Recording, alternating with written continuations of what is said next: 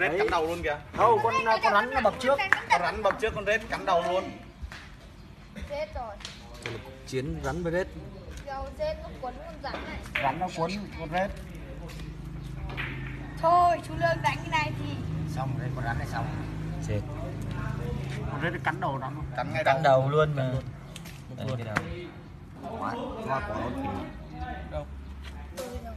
Không đầu cũng đấy. Xương gãy rồi. À, ông biết rắn cái đầu muốn đi rồi nhỉ cái đầu.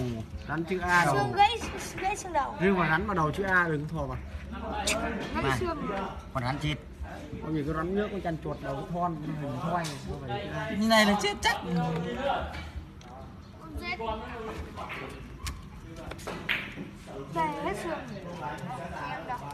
Đầu cái chân nó bám vào cái da này nhìn bám quá chặt